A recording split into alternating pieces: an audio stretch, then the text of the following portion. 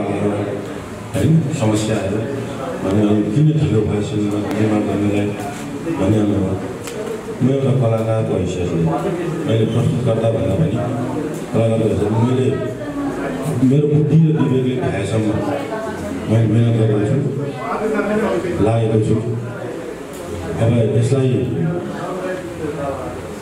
हलमा ल्याउँदैछु प्रदर्शनको लागि तयारी गरेको छु र हजुरहरू पत्रकार मित्रहरूले साथ दिनुहुन्छ सहयोग गर्नुहुन्छ आफ्नो लेखनलाई।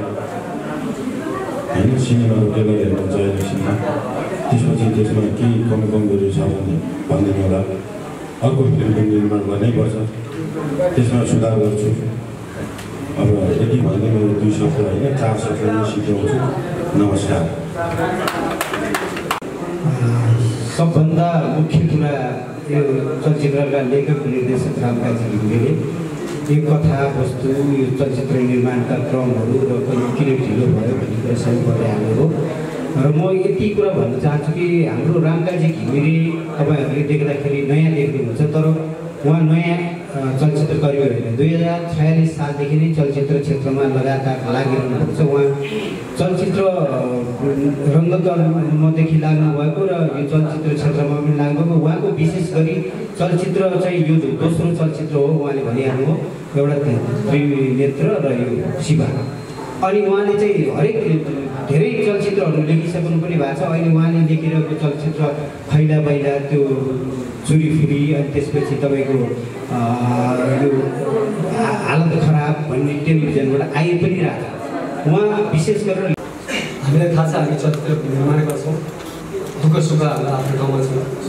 र ती निर्माण जतिसुकै जसले जे भने पनि दुईवटा त तपाईँलाई निर्माण गरिन्छ एउटा व्यवसायिक अर्को चाहिँ पनि चलचित्र क्षेत्रमा केही काम गरौँ चलचित्र क्षेत्रको स्थान गरौँ त्यसको विकासमा अलिकति टेवा दिउँ भन्ने उद्देश्यले र त्यो काम त्यतिखेर मात्र सफल हुन्छ जतिखेर तपाईँहरूको साथ हुन्छ त्यसका लागि तपाईँहरू सम्पूर्ण पत्रकार मित्रहरूमा हार्दिक हार्दिक स्वागत गर्न चाहन्छु जोडदार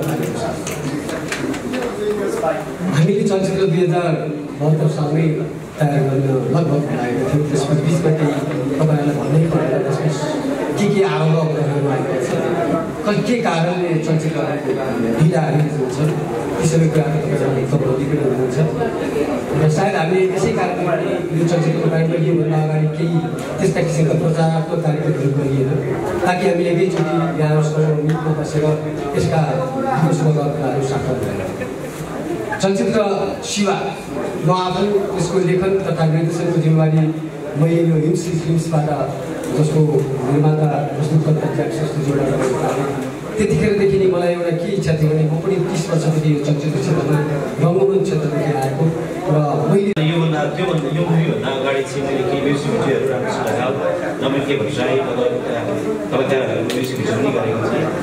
र ज्याक सरले मलाई एप्रोच गर्नुभयो र म नेपाल आएर जुन यो मुभी गर्दाखेरिको जुन एक किसिमको जुन रोमान्टिक मोमेन्ट थियो एक किसिमको जुन अनुभव थियो त्यो भनेको चाहिँ इस अविस्मरणीय छ।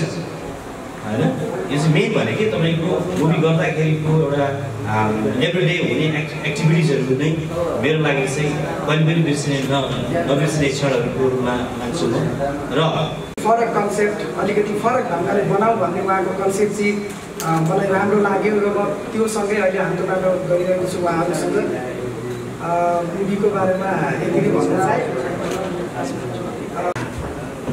फिल्म कुनै रामकाजी घिमिरेको मात्र नभएर हामी सबै नेपालीहरू हो यो फिल्मको विषयमा हामीले आफ्ना लेख आफ्ना रचना आफ्ना विवेचनाहरूलाई बुलन्द गर्नु हाम्रो कर्तव्य पनि हो म एउटा उत्प्रेरक वक्ता भएको नाताले मैले यो चलचित्रलाई एउटा सोच बदल्ने चलचित्रको रूपमा लिएको छु। अहिले म मात्र यति भन्न सक्छु। बाँकी कुरा चलचित्र हेरिसके पछाडि सम्पूर्ण दर्शक र उहाँहरू आफैले मूल्याङ्कन गर्नु नै हुनेछ। भर्खरै मैले रामराज घिमिरे सरसँग अलिकति संवाद गर्दै गर्दा यो एउटा जीवन बदल्ने चलचित्र कसरी?